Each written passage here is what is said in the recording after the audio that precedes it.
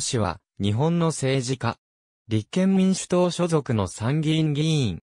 衆議院議員、福岡県八女市長を務めた。福岡県八女郡立花町の農家に生まれ、八女郡広川町で育つ。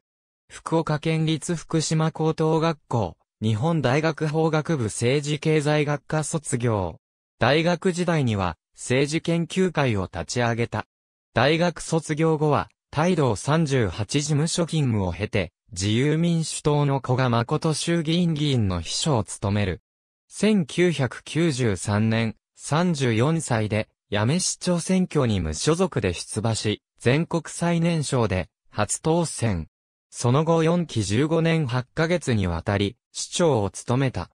2005年の市長選では、かつて秘書を務めた、古賀の主導により、対立候補を立てられるも、4選。2008年9月、八女市長を辞職。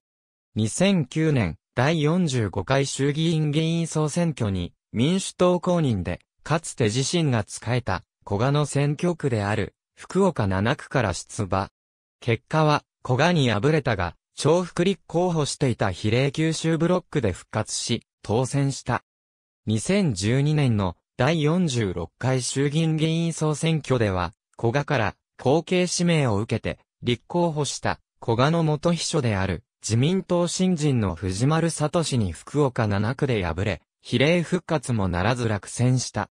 2013年7月、第23回参議院議員通常選挙に民主党公認で福岡県選挙区から出馬し、得票数2位で当選。この選挙において、九州地方で唯一当選した民主党の候補者であった。2017年10月27日、民進党代表の前原誠二が、同月の衆院選で党を分裂させる形で戦う原因を作ったことについて陳謝し、隕石辞任を正式に表明。前原の辞任に伴う代表選挙では、大塚公平の推薦人に名を連ねた。2018年5月に民進党と希望の党が合流する形で結成された国民民主党には参加せず、無所属で活動する意向を表明し、直前に民進党を離党した。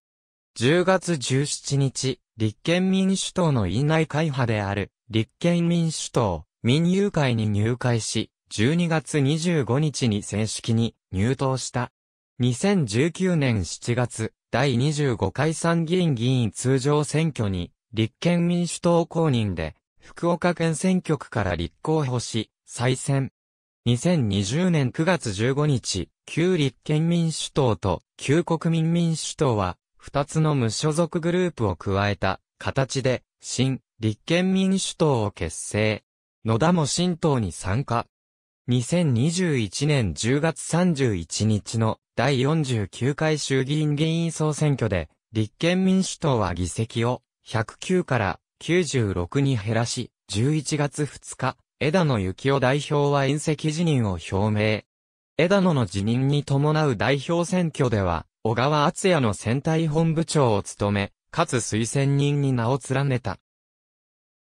2014年4月21日、元行政刷新担当大臣の蓮舫や社会、民主党党首の吉田忠智と連名で、第2次、安倍内閣が目指す、憲法解釈変更による、集団的自衛権の行使全任を支持しないよう、アメリカ大統領のバラク・オバマに求める文書を、在日前大使館に提出した。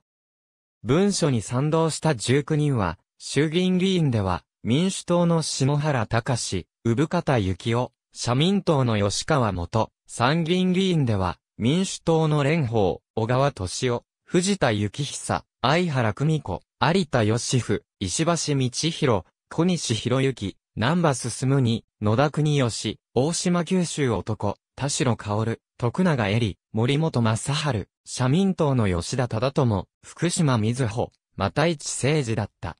先に訪米市民主党は公使用人に前向きとの認識を示していた元防衛副大臣の長島、昭久は、ツイッターで、属国でもあるまいし、嘆かわしいと批判した。ありがとうございます。